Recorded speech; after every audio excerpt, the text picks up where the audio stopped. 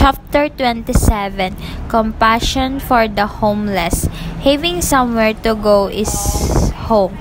Having someone to love is family.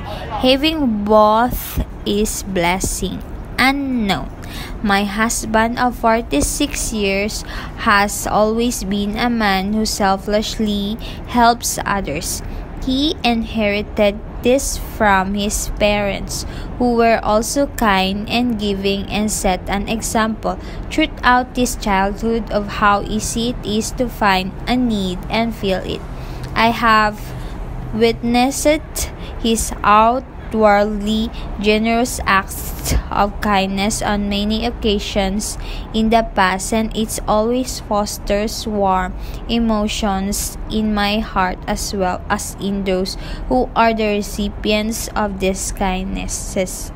My husband has a soft spot in his heart for the homeless. He works in the Seattle and drives all day through the downtown area, where there are countless destitute folks standing in the cold rain on the corners, holding signs asking for help.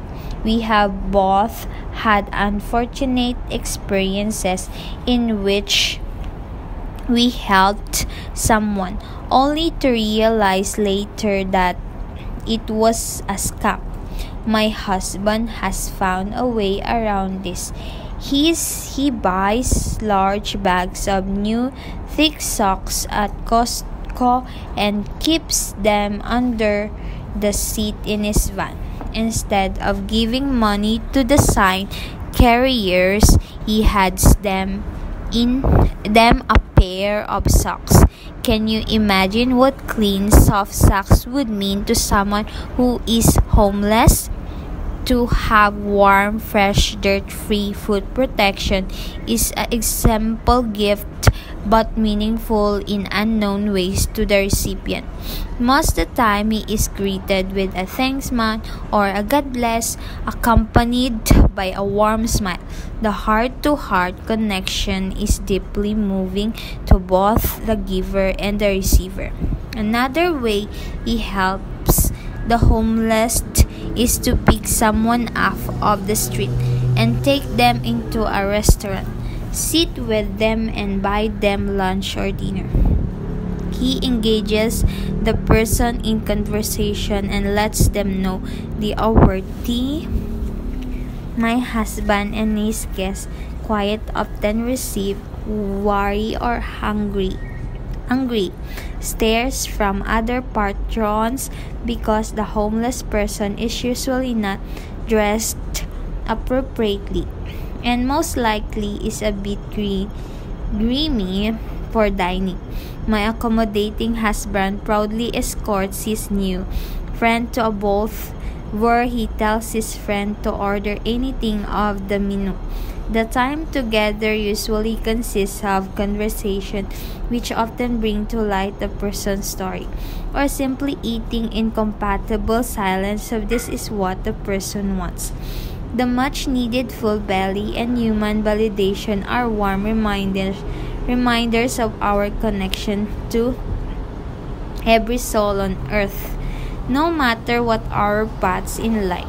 A few years ago, my husband decided he wanted a change from our Thanksgiving tradition and asked if I would mind serving the homeless with him at a shelter in Seattle.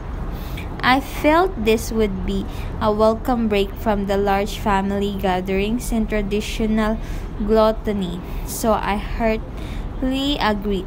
When we got to the shelter, there was an overabundance of helpers, so we were feeling a bit misplaced. My husband saw large boxes of oranges and apples and asked the servers if we could take them to the street and hand them out to those who had declined the shelter meal. They agreed and we headed out to Pioneer Square in the pouring rain to give our small offerings to the to the most destitute souls in our city. We met drug addicts, alcoholics, and mentally ill and depressed folks. I was hesitant to approach them but followed my husband's lead and found these humans to be approachable, likable, and gracious. This experience was a gift to me from my husband, and I cherish the unexpected connections still. As a Vietnam veteran and a retired Coast Guard man, my husband also has a warm spot in his heart for the hardships of military personnel and their families. We were in a restaurant once when a, a clean cut young man in uniform came in with his wife, two small children, and parents. Because of the joy and closeness the family exhibited, it was obvious that he had just returned from overseas and might even be deploying again soon.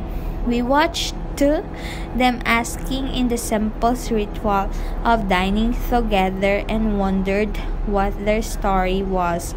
When the waitress came with our check, chick, chick, check, my husband said he wanted to pay anonymously for the entire family meals. Family's meal. We sat and watched as the waitress told the man his trick was taken care of. A look of surprise and astonishment flickered across his face, and then his eyes slowly scanned the room until he recognized a kindred soul in my husband. As the family got up to leave, he came over to the table and saluted saluted my husband, who returned the salute. For me, this was a goose bump, God bump moment and still brings tears to my eyes when I relate it. It is easy to give your heart to others. It does not take great effort or even require that you reveal that you have done so. If you look around, you will see many opportunities to give a compliment or just smile at a stranger. Our world is in desperate need of loving kindness and heart to heart human contact. I learned this from my husband on a daily basis and I'm blessed to, to have him as a shining example what it means to be human by Margie Passero.